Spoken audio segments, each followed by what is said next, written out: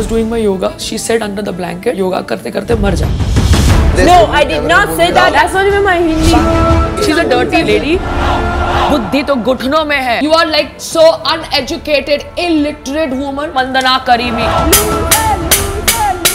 Now she's coming No, close no, to me. If you How heard dare she that, touch then me it's that wrong. People have kept you in this house because you're a piece of garbage. You're the eater, dirt of this jail.